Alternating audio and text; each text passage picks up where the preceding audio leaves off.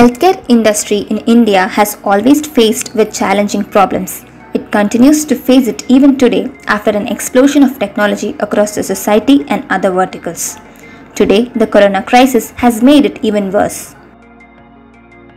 A solution from Ellora Systems for running the clinics during and after the corona crisis. Curie is a doctor's digital assistant that acts as a well trained nurse in running the clinic. Curie's proprietary waiting room algorithms avoid overcrowding in clinics. It helps increasing the efficiency of the clinic by 50%. Curie is a touch and voice based solution that works the same for rural India as much as it works in Bangalore. It bridges the gap between the highly educated doctor and often the class 10 educated nurse in a clinical setup. It's built for scale and speed of implementation. As an integrated system,